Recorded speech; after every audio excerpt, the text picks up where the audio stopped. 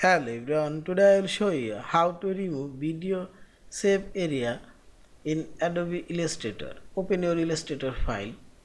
Now select Windows option, active artboard and also active artboard properties. Now select artboard tools option and active. Now click any of this artboard. Here you will find this artboard option.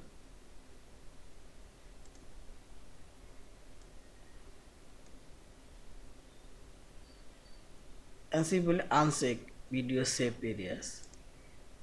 Now select OK and see this video safe area already removed and here mark exist. Now leave all of these pages video safe area. Click on this artboard layer option. This layer. Select all of this layer at once. Press ctrl a from your keyboard. Now select artboard option.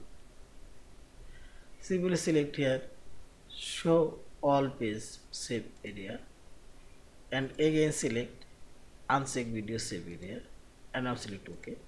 And see this. All of this page video safe area already removed. Yeah. In this way you can remove safe area as you like. Thank you for watching. Please subscribe, like, share and comment.